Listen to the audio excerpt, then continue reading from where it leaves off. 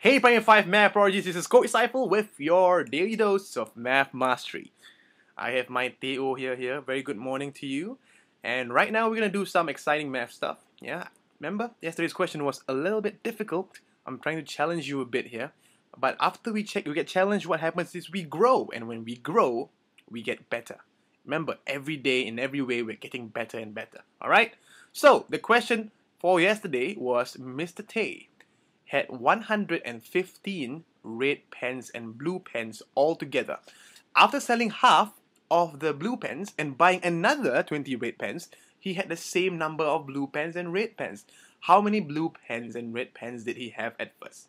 Okay, so for the answers, for all those math geniuses out there, math prodigies, 25 red and 90 blue. Did you get it right? If you got it right, you know what I'm going to do right now. Raise your hand. You are a math prodigy. Good job. Okay? Now, for those of you who didn't get it right, no worries. We're going to get it right now. Okay? It's okay if we get it wrong the first time, but the second, third, and fourth, and fifth time, we're going to get it right. And on exam, we're going to get it much more better. Okay? We're going to get it right. So, let's look at this question. There's a few tricks they're trying to trick you into. Okay? Let me just give you, uh, let, let us do the first steps first. We circle the numbers. 115 red pens and blue pens all together. Yeah? After selling half, oops, I got enough space.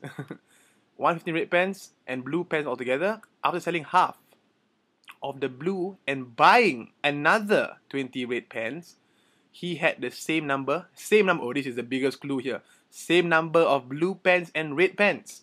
How many blue pens and red pens did he have at first? Now let me show you how to do this. When you ask these kind of questions, yes, these are all clues, but the key is this because when you draw it on a model, you can understand how it looks like. So first off, I want you to just simply draw red and blue and understand that they are both the same number. So when they're the same number, their models will look exactly what? Correct. Exactly the same. Okay? I know this is not exactly the same. My, my drawing sucks. okay? Now, what he said was, what this question said was, after selling half of the blue pens. So it is supposed to be half or 1. Correct. This is after by the way. Yeah? This is half. So in order for you to get the original, you must do what? You must, correct, you must times 2 of it. Good job. Okay, times 2 of it. And let's look at the second clue. Second clue is he bought another 20 red pens. So after is the same as the red. But before that, was it the same? No, before that it was lesser. So before that, what was it? Before that, it was 20 less or 20 more. Think about it. Mr. Tay bought another 20 red pens and then it became more. So it's supposedly less before. So before, it actually looked a bit like this. And what is this thing over here? What is this thing over here? The one that I'm drawing here? Right, good job. It's actually 20. Ah, now with this in mind, Look at the question again. The clue said 115 red pens and blue pens all together at first. Hmm.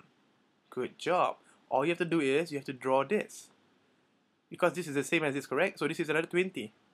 And since it's double, the other side will also have another 20. And altogether, if you were to add it up, it equals to what? What's the number here? Good job. 115. Ah, now that we got the model, everything becomes easier, doesn't it? Right? So, for the working, how do we do this? Now, first step is we need to find out what one of these equals to because they are the same everywhere. So how do we get it, gentlemen? I mean, uh, math prodigies, how do we get it? Okay, look at this. This is 115 minus what? 20 minus 20 minus 20. 20 minus 20 minus 20. Okay, what is that equal to? Quick. 150 minus 20 minus 40 minus 60. 75. Good job. You are a math prodigy. Awesome. 75. Now, 75 equals to how many units? 1, 2, 3. Oh no, I have no place. I'm going to erase this very quickly. Um, okay, let's draw here, right? 75 equals to 3 units. Okay, look up here. 3 units equals to 75. 1 unit equals to what?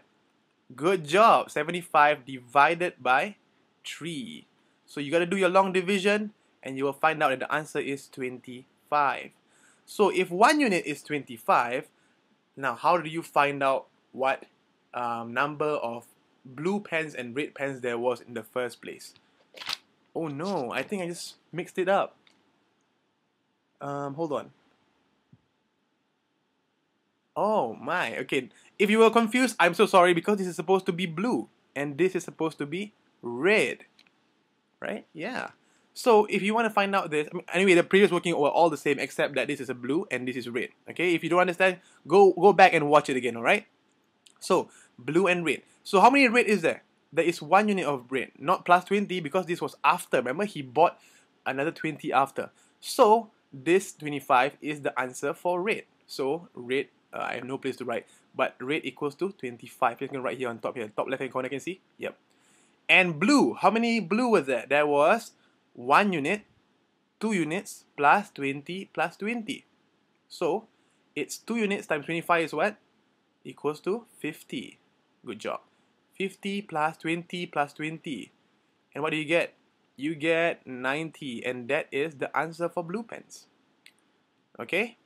Got it? Good job. You are a math prodigy. I hope I don't get I hope I don't confuse you. Slowly follow this and you will understand. Alright, my math prodigies, good job. Now, today's question for the day. Oh, it looks a bit difficult as well. No, don't worry. Don't worry, okay? Once you read and get the clues right, you will get it right. So Susan had twice as many white beads as black beads. After using 40 white beads and 5 black beads to make a bracelet, she had thrice, what's thrice? Three times as many black beads as white beads left. So, how many black beads did she have at first? Good question. Hmm, remember, victory loves preparation. I know it's tough, but the more you prepare, the easier it gets. Remember, the more the more I do, the easier it gets. Remember, victory loves preparation. This is Coach Saiful signing off.